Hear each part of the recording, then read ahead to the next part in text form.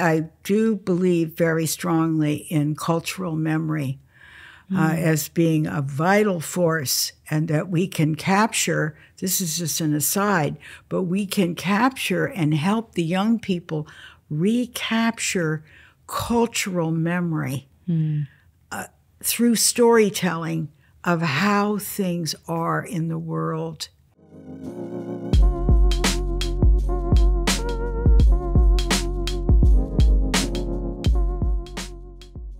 Welcome to the Maven Parent Podcast. We have a special guest with us today. And uh, I was actually thinking of different ways to open this up. And I was going to say, Onalee is in the house.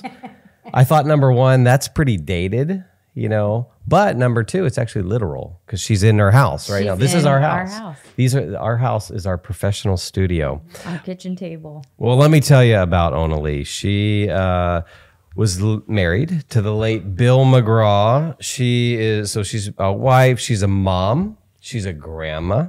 She can tell us more about that. She did a uh, bachelor's degree at Whittier College here in Southern California, and then did an MA and a PhD at Georgetown University. Okay, now that's just the start, and then I mean this gets pretty pretty cool in well, the eighties. what she did her degrees. The MA and the PhD was in Uh, political science. political science political and political theory. theory. Yeah. So yeah, we may we may just get off on a whole conversation about politics. So, um, but in the '80s, uh, Onalee was uh, appointed by President Ronald Reagan. You served two terms on the National Council on Education Research. You've done work with the Heritage Foundation, and then in 1986, you co-founded the Education Guidance Institute. And I love the motto right? Teaching truth, goodness, and beauty through classic movies to the rising generation. And so, uh, Onalee, welcome. Thank you, Brett and Erin. Yeah, we're glad to have you. And uh, of course, those that, that's your, you know, that's the official bio. But we really want to we want to hear your story, Onalee. So, I mean, tell us about where you grew up. And maybe the kind of family that you were raised in, a Christian family, non Christian family, and, and give us some background on your life. Okay. Um, I would say that um, I was uh, very typical of my day. I was uh, what they call the silent generation. I grew up, I was a little girl in the post war, world, post World War II world of California, and uh, grew up in San Luis Obispo, California Oh, beautiful place. and um, my my family, I would say, we were lacking in a real. We didn't have an intentional Christian way of. Uh, I think things were kind of taken for granted. Uh, the good life was kind of taken for granted. Um, so when I entered Whittier, um, I would say I, I had no particular, I, I knew God existed and I wanted to try to be a good person, but I wouldn't say that I really understood uh, what it meant. Um, and uh, my, but my life took a dramatic turn when, in my junior year, I was an exchange student to Howard University and uh, there was in the time of the early civil rights movement. And my best friend, uh, Leslie, who lives in Coronado, she was an exchange student to Fisk University, and I was an exchange student to Howard University. So we were best friends. We both had a great idealism. And in that time, which was a very special time that I write about and present in my blogs and in my articles because it was a time when there was a greater awareness that there had not been justice for all Americans, and in particular, injustice and discrimination with Black Americans. And um, so, anyway, I was privileged to be in Rankin Chapel on an amazing day when Martin Luther King himself was in that chapel. Oh, wow. And he exhorted us to stand up for our brothers and sisters in at Fisk who were going to the lunch counter sit-ins. And it made the difference for me in terms of what I wanted to do. I wanted to uh, be somehow involved in political things. I was a political science major. Um, and uh, although I had difficulty being studying political science sciences, I was much more drawn to literature and literary things. But you know how those things happen in life. You wind up in one one major or another, and so it's just kind of interesting how uh, that happened. And I really didn't know that I was going to get a PhD or anything like that. I just had this sense of wanting to make a difference. I guess you could call it that. So, at what point did you kind of put your faith in Christ? Was it, Well- was while you were reading Lewis? Was it with the professor? No, it actually happened in a certain way that was tied to my decision to marry my, my beloved husband, Bill. And that was that when I was going to Europe, I had saved this money, and Bill was in part providing that money because I was his secretary and he was my boss. He was a independent uh, at that time in private practice in Washington D.C. And um, we would start talking about all these literary things and these political things and all this. And he was more of a conservative than I was. I was kind of the liberal orientated, even though I had had these very seminal experiences to help me to be more settled. But I was still, my orientation was still quite liberal. And uh, anyway, Bill gave me the book Mere Christianity um, to read, and I remember reading it. I was sitting on the train uh, in England with my girlfriends that I traveled with, and I just fell in love with C.S. Lewis and his writing. But later, when I came home, I was trying to decide whether I would should marry Bill and whether I what could happen. And I just thought, I will reread Mere Christianity because I have to believe that Jesus is the divine Son of God. He is the second person of the Blessed Trinity. He is, he is. And my Aunt Elaine, who's a wonderful evangelical Christian that I would always see growing up in the San Joaquin Valley, my dear aunt, she had been praying for me because I mm. had said to her, Well, Jesus is just a, a great prophet, Aunt Elaine. I mean, you have your view and I have mine. And she had burst into tears and said she would pray for me and asked me if I'd ever heard of C.S. Lewis.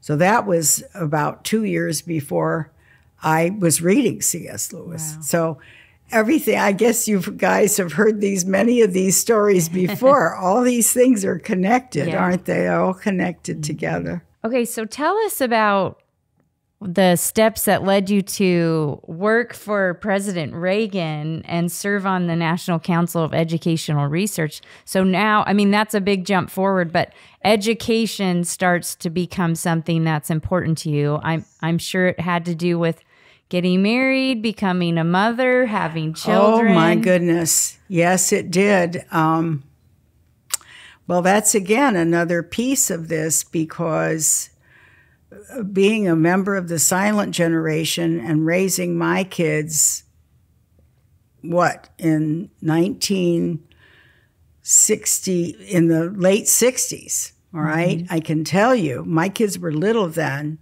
but that first revolution of really reducing the human person was uh, taking off in our educational philosophies and uh, there was a lot Reducing of the human person to what? I because I think that'll intrigue people. it was reducing the human person to uh, a materialistic view and also a relativistic view that you know again uh, it doesn't these things don't matter or else uh, there was actually and this is this is getting off a little bit, but actually it's quite related now that I think of it. Um, there was a scholar named Jerome Bruner who wrote. Uh, he wrote. He was the author of the series called "Man: A Course of Study." And this is this is again the kind of thing that was in the air, just as the some years before, uh, and and Brett, you've written about culture and what it is and how it, it shifts and these these shifts. And uh, uh, that I lived that because when I was in high school in the public schools, we had a great classic curriculum. And that was hitting and i was in a position to judge it because of this exceptional education mm. that i had had at howard university mm. at georgetown but also at whittier mm. at parts of it. And now um, with your kids, you're seeing a major shift. and that, then it came in the again because there was this huge uh, backlash, Erin, against, and that's how I landed at the Heritage Foundation. Be, and I was on the education desk, I guess you'd call it. I was an education consultant, and I wrote a little booklet called Secular Humanism and the Schools The Issue Whose Time Has Come. And then I was able, because of my studying the political philosophy and kind of having that, I was able to do a comparison of, um, I didn't call it Christianity, I called it traditional views or so. I can't remember because I wanted to have it broader, Yeah. you know, but uh, it was a comparison of the Christian worldview and the uh, this modernist thing of uh, the secular humanist view. And so I compared them down there and uh, through, through these pages, and the booklet took off like crazy. And it hmm. was right before President Reagan was elected president. It was hmm. during the presidency of, of Jimmy Carter. And everybody was surprised. But again, it's in the air. Hmm. Christians all over the country were trying, just as they are now, you know, to uh, try to address what's in the culture, what's happening, what. And um, so th- the booklet was very popular. So you started with Heritage first, and then uh, Reagan appoints you to this. Yes, this special. yes, that's that's what happened. Okay. Yes, And you serve both terms. Yes, there, there uh, a lot of us did that were on that, and we were very proud to be able to participate um, in in that great time. Yes, And so, and it's uh, so it's the National Council on Education Research. So you're Yes. thinking through the nature of education, yes, right? You're thinking in uh, uh, thinking from a, a Christian worldview. What is it? Yeah. wh- What is a what is a human being? Uh, what is the nature of education? What is education for? So these really big, important worldview questions yes, right and then and thinking through or or being consulted on okay and then how does how does that how does the state Well, it- put this into policy yes, and having to hold your end of it up when the answers are not easy either, because uh, we have to try to think, well, how can we improve education? It's a very one of the most challenging subjects. So yes, and Yeah. Yeah. So before we talk about connecting those dots and talking about film and how we can use film in our own lives and in our kids' lives in their education, which I'm excited to talk about with you, Onalee. I want to talk I wanted to ask you about this love of film that you have and when that started and if you remember for example, like the first time you went to a movie or the first movie you saw, or even like, you know, your favorite movie when you were little, something like that. So tell us about movies and how they impacted you. Well, Erin, I saw It's a Wonderful Life in the theater when I was seven years old. Oh, And it had this huge impact on me. yeah. And uh, and think of that being seven years old and seeing that film on the big screen. And I can honestly tell you, this is why I do believe very strongly in cultural memory uh, hmm. as being a vital force, and that we can capture. This is just an aside, but we can capture and help the young people recapture cultural memory hmm. uh, through storytelling of how things are in the world, in the mm. culture, in the place we live, with our families, the people we love. Mm.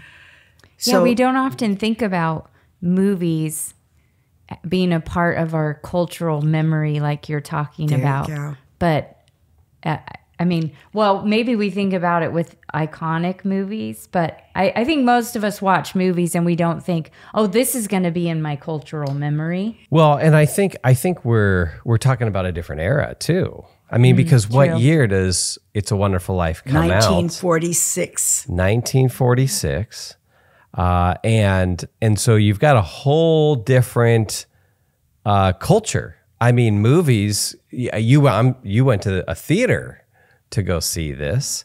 This isn't something that came out direct to your iPhone, right, or to some streaming Exactly. platform that you can simply consume in your house. So there's more of a a whole, uh, you know, way of living yeah, of way- a people. Yeah. Thank you, And Brett. this is a community event. I mean, Yes. I, so I'm just curious to hear just some of the details. So, you- was it your your parents that took you to the movie, and um, you know, I, I just kind of that's process that with that's us. that's uh, that's right. Uh, it was a community event, and I did manage to do a documentary that's on my website that we can talk again about Yeah. later if you like. And that is what starts our documentary is that I talk about going to the movies as a major community event. And it's hard to believe in today's world, but it's absolutely true. So, who did you go to that movie with? I was probably there with my mother. Okay. I, I, I think so.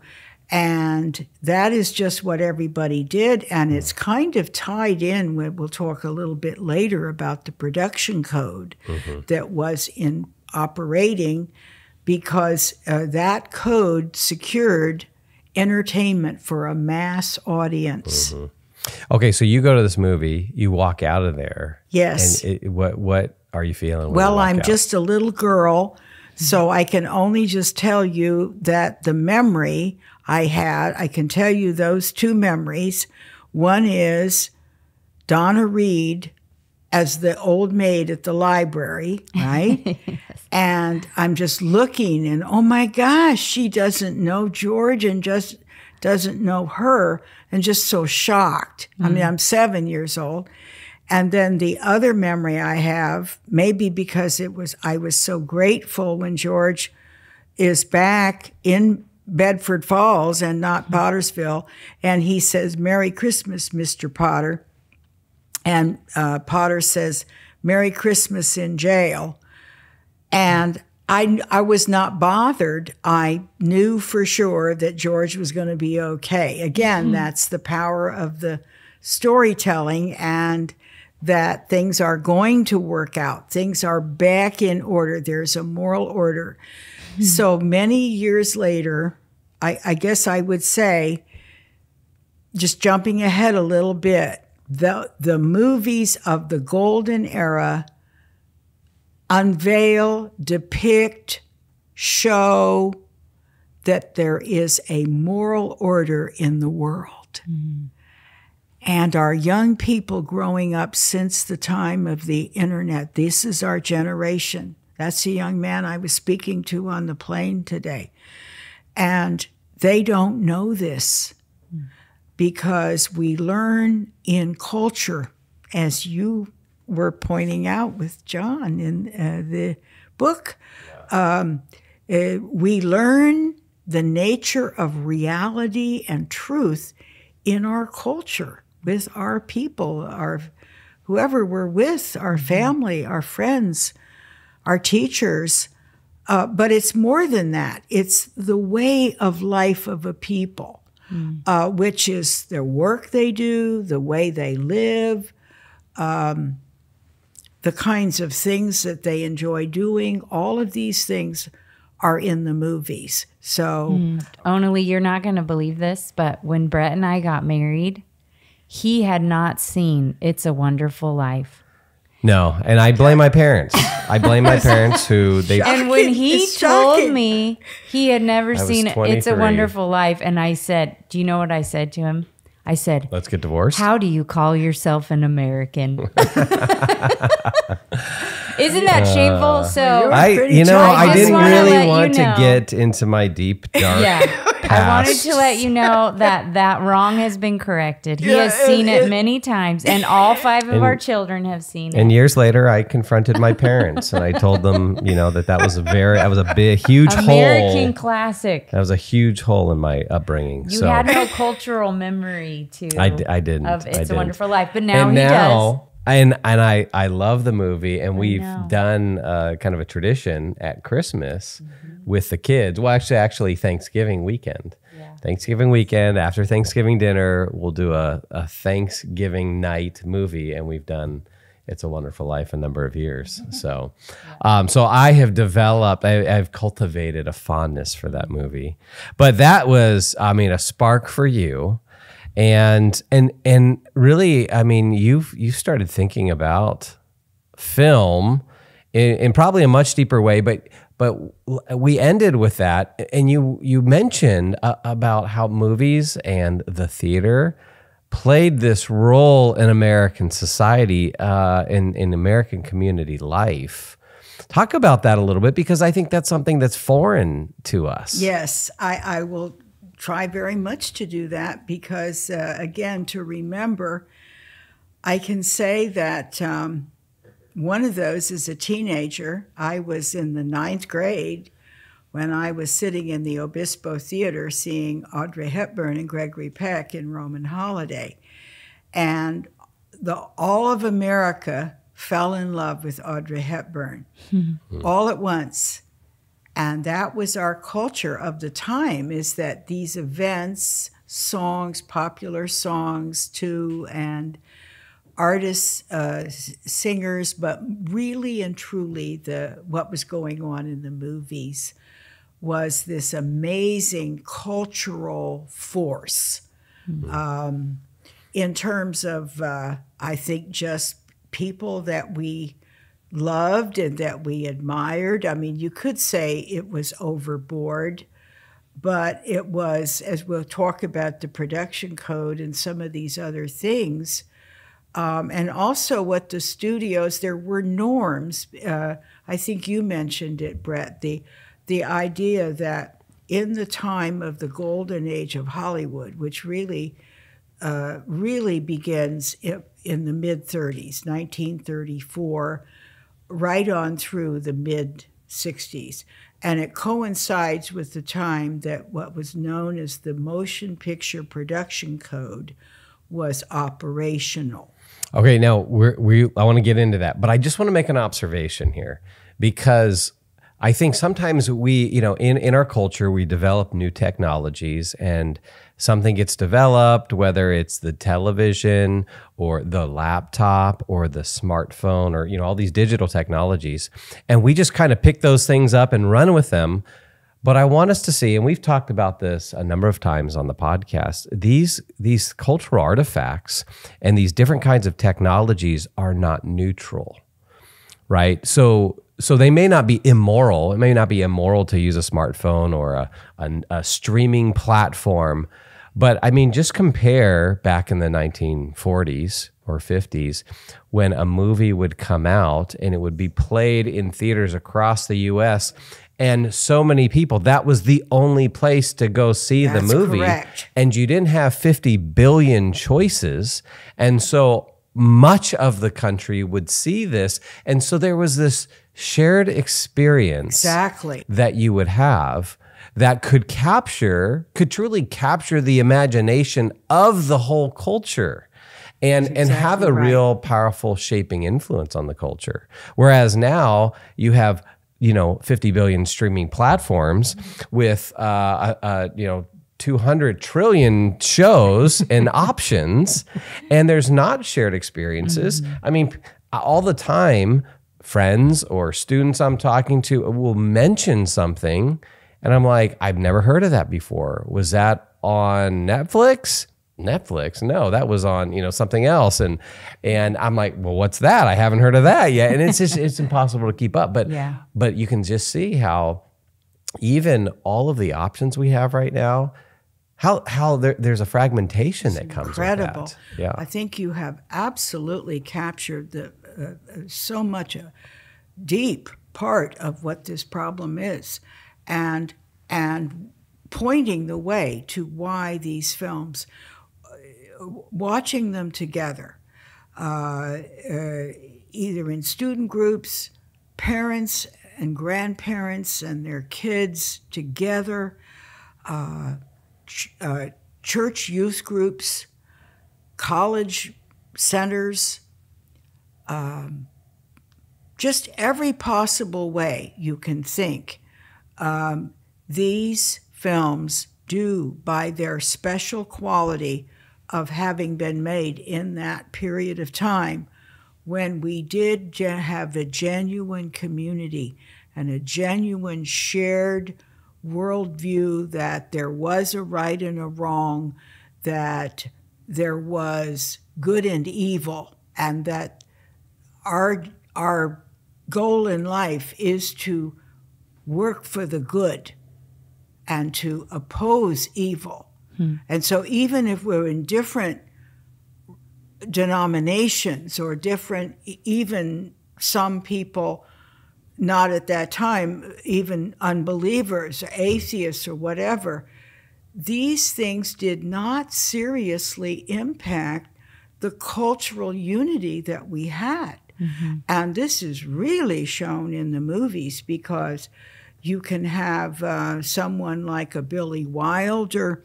who directs double indemnity in 1944 he's basically a, a, a relativist in his worldview uh, very cynical and that's a wonderful story because it, it shows about the production code and its power. Because this poor man, artistic genius though he was, he didn't know how to make that movie so that it could pass the standards of the production code.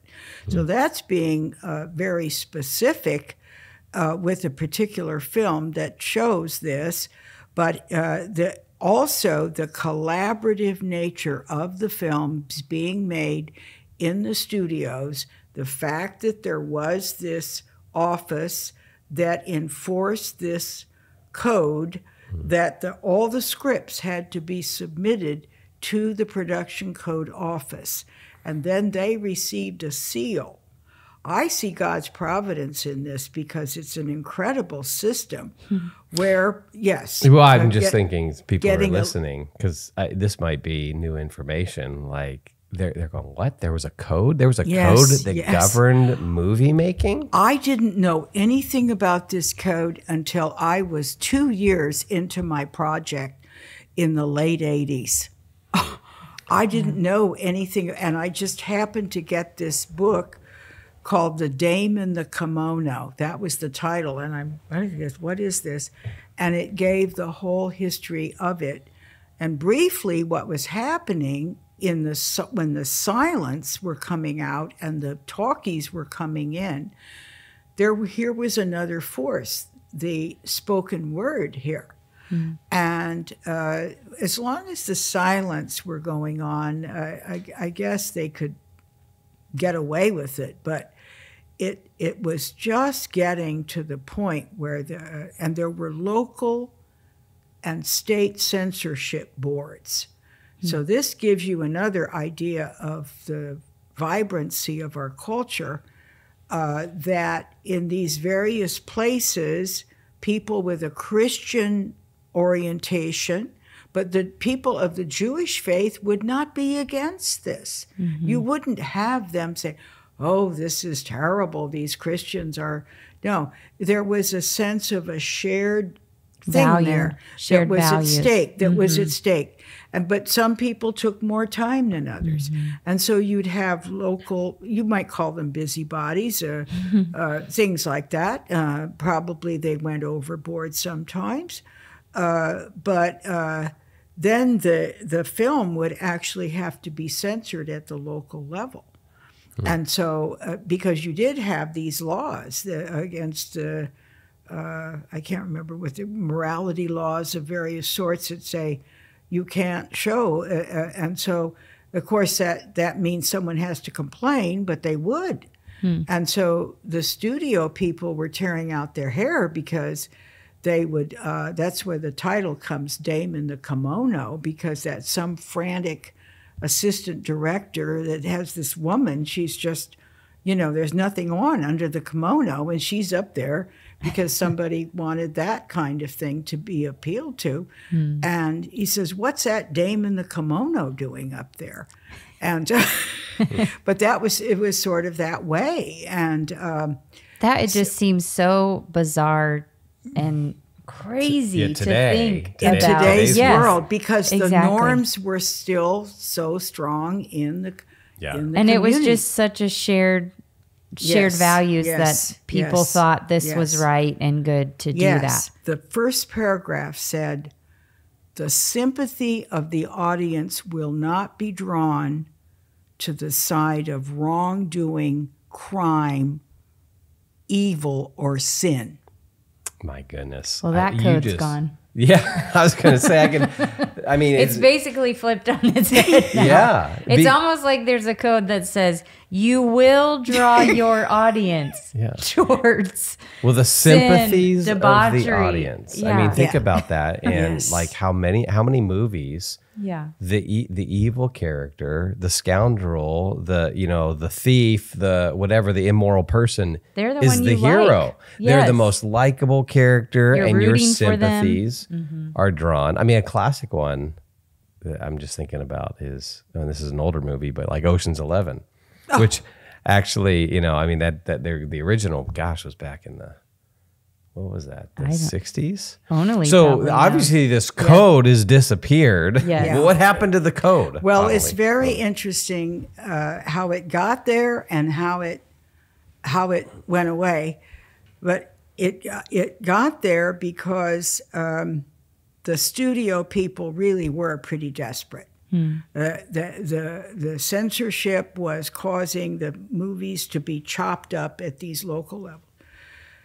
So there were some people that were thinking about this, and it reached the attention of Bishop Mundelein of Chicago and a very wonderful priest named Father Daniel Lord.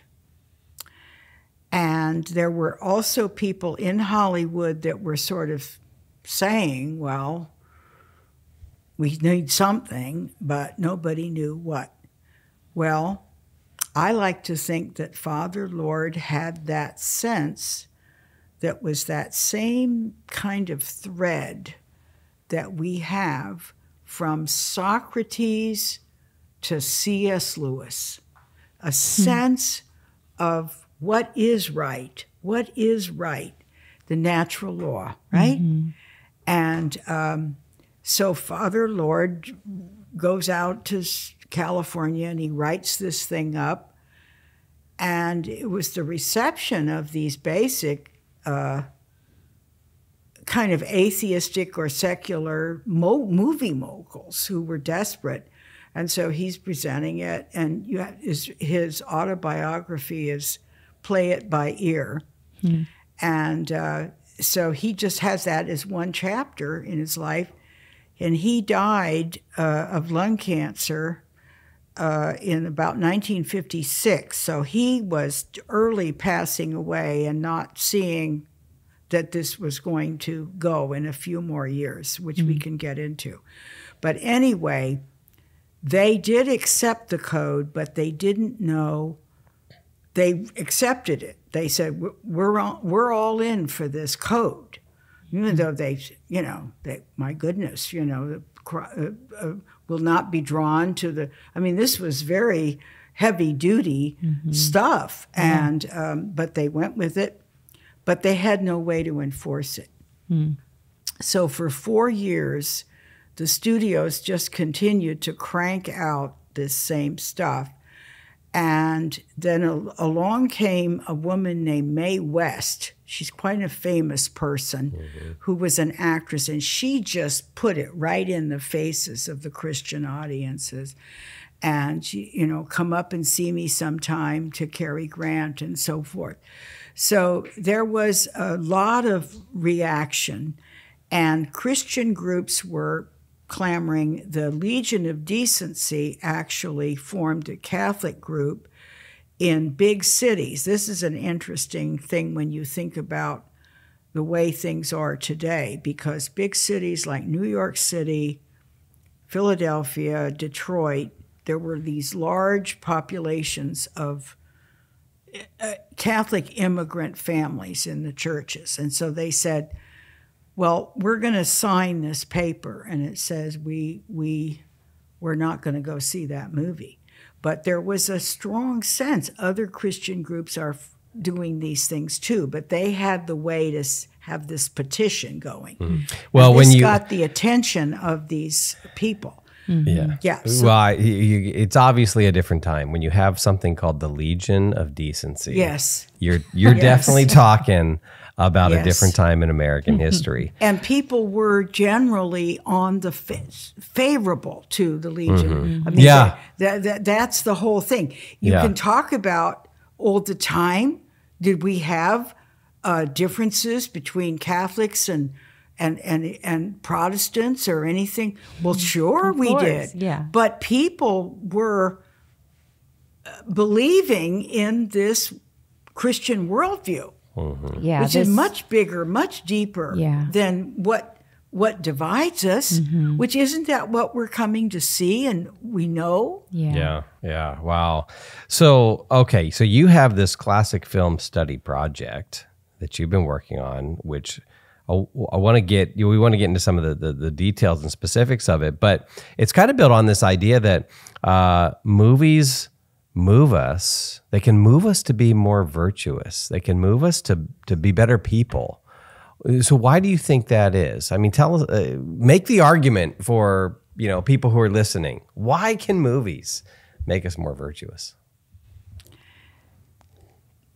They can make us more virtuous because we have given to us by God a longing for rightness and goodness and truth and, and doing the right thing. We have that written in our hearts. Mm-hmm. Yeah, Romans chapter 2. And that to me is the heart of it. So that when we are seeing the movie unfold, we are intuitively, I think, also some people have called it poetic knowledge. Some great thinkers have called it poetic knowledge.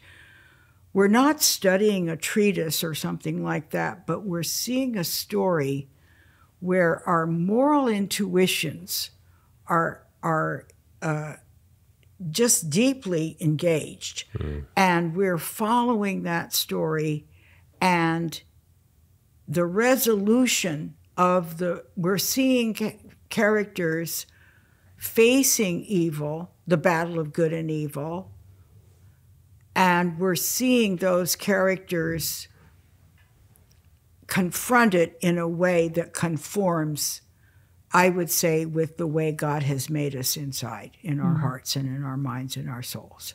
Yeah. So well, I I love that, that, because you know so often because things have changed in the culture, especially in the Christian world, we are skeptical of movies and have, taking our children to movies, and rightly so. We've we've talked about specific movies and shows on this podcast that we should avoid yeah, Erin won't even let the kids watch Veggie Tales when they were young.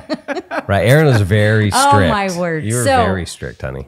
So I love what you're saying, Onalee, because this it's making us think more deeply about the art of movies and that it is an art form just like we we've talked about on the podcast we've done a whole podcast about making reading a part of your family's culture Yes. and and we want to be Christians that don't just say no to everything. We want to be parents who don't just say no, no, no. Yeah. We want to say, Yes. "Oh, here's beautiful art.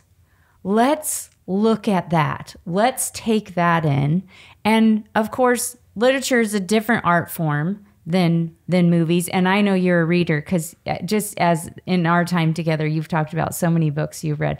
So i love that you have a love for literature but you also have a love for movies because like you said it's the story that draws us in It is, and if you were to say, Erin, where this is in the world or in the whole history of the world of art and everything, it is a literary. It's a story. It's a, it's a literary sensibility, I guess you'd call it. Hmm. But it's also this moral sensibility. It- it- It's one thing, isn't it? It's, mm-hmm. you can't separate it, and mm-hmm. that's what the modernist view is that you can separate all this and we know that it's all one thing it's it's we are whole persons and the integrity of our lives depends on uh, our emotions our reason our conscience our social senses Our imagination. our imagination yeah. so the all project one thing Yeah, I love that. So the project you're doing and and why we wanted to let people know about what you're doing is you have a project of classic films that you want people to watch and to watch with their children, their grandchildren Yes. in As- their schools with their students. as a social learning, a social, cultural, moral engagement activity. Yes, mm-hmm. learning activity together. Social, really learning, but also just being together and then having the conversations. Yeah. So so tell us a little bit about because because you have some different genres that you've put together. Yes. And and so give us maybe a taste of one of them so people can know what it is that you're offering. But uh, you could do the classic ones, or of course, I love the Jimmy Stewart one, which makes sense with your story of being seven years old and it's a wonderful life. Yes, yes. So tell us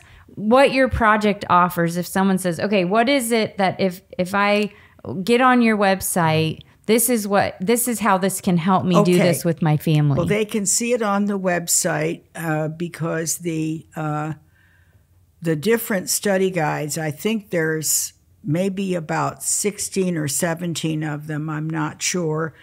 Um, they are in two forms. They're on Amazon, and the two forms are uh, theme based, or in the case of the films of Jimmy Stewart, his movies. That's the only time I did that. And so the theme based, and then I have the spotlights, um, which is a different mode of it. So I could say that that I have my favorite for right now in our country is the study guide Liberty and Justice for All. Uh, classic movies and the things that matter most.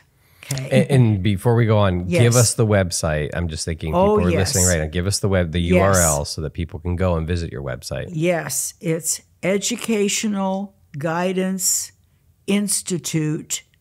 Institute.com. Okay. And then when you get up there, there's going to be blogs I've given for you. And so these blogs are little articles with pictures, lots of pictures, lots of images that have to do with the different themes. Um, so I have one theme I work on very hard right now is the depolarization of our civil society, the bridging of our deep divisions in our politics.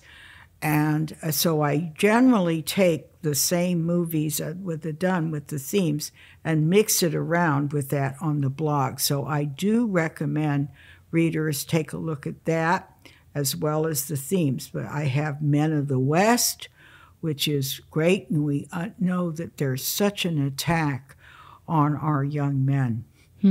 And they are being so uh, just attacked every day with uh, against their very being of how God has made them to be So- leaders uh, in our world and with our their families Yes. and in the world. So the Men of the West one that you mentioned is called Yes. Men of the West: Classic Western Heroes and the Examined Life. And there's seven classic films Yes. that you point us to to watch, and you talk about the beauty, the goodness, and the truth in these movies. Yes, and what I've d- tried to do, Erin, um, for the parents and the teachers that would order this book is that they can become a film expert like me, so to speak. I've poured out to them, okay, what can we tell the kids about this director or this time of this film was made?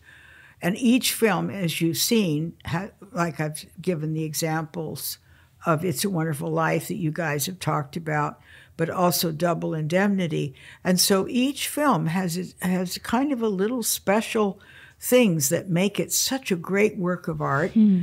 And there's little stories that go with it, and so forth.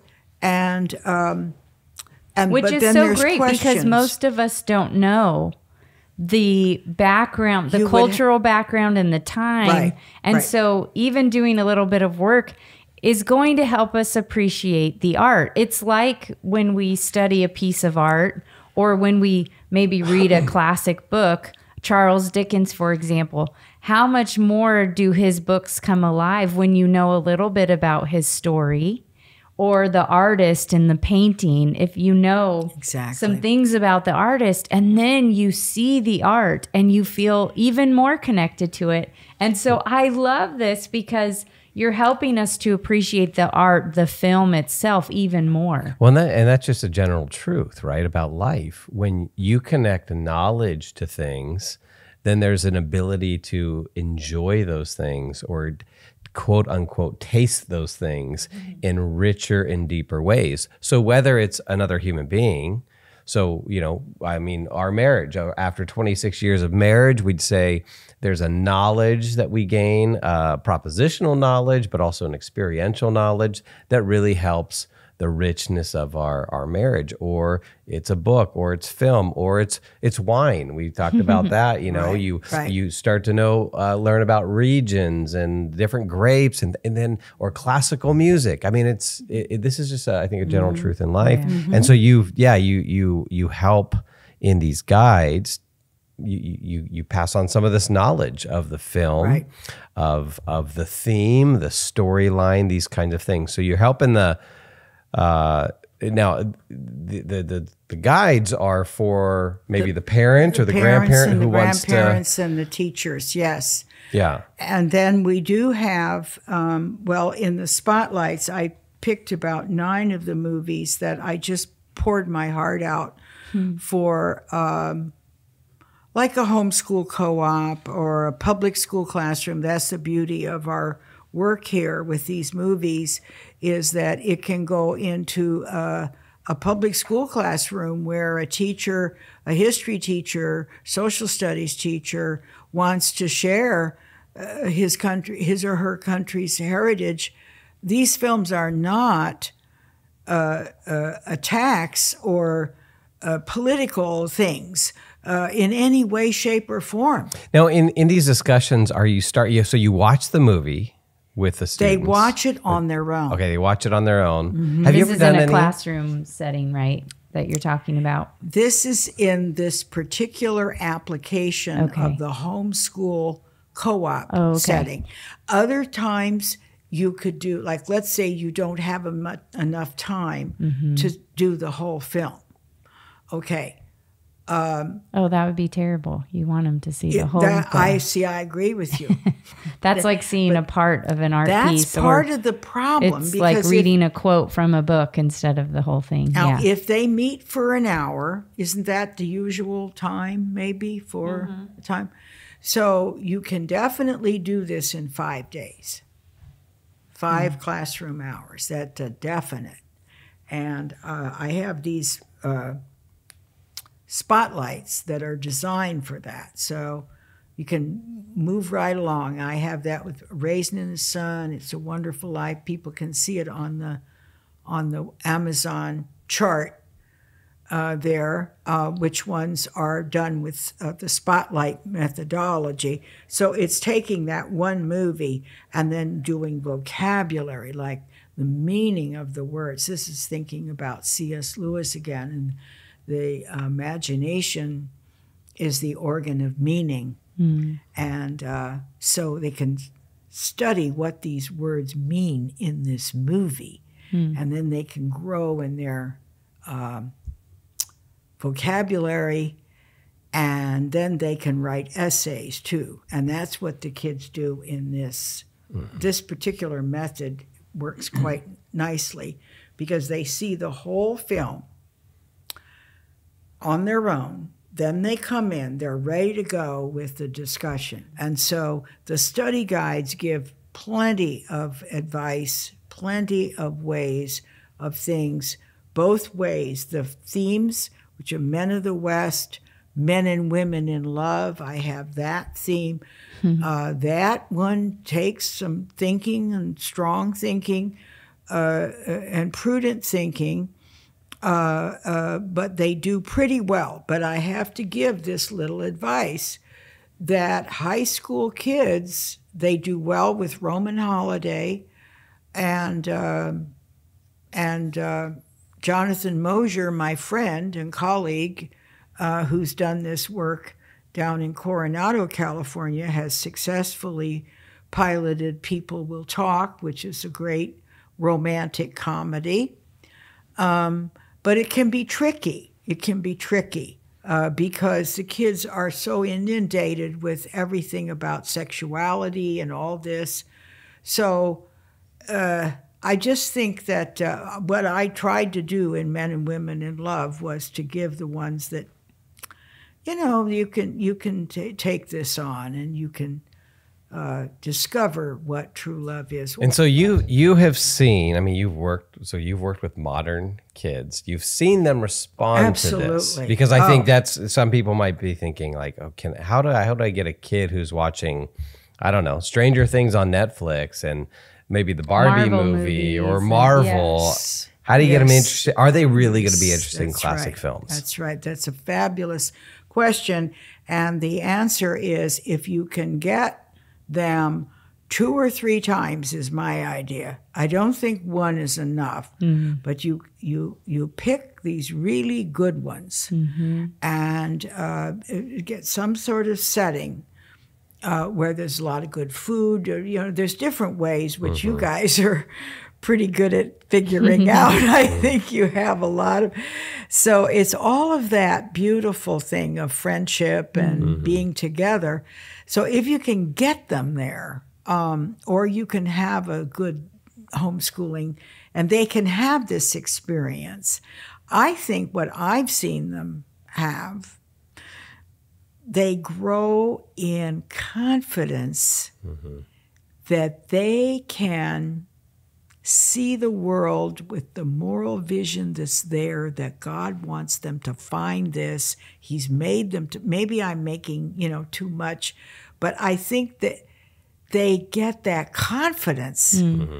And I think they develop an appetite for it. Yeah, that's you know, it's like if you eat fast food every single day, mm-hmm. you're going to develop a fa- uh, appetite for fast food, and that's mm-hmm. what you're going to want.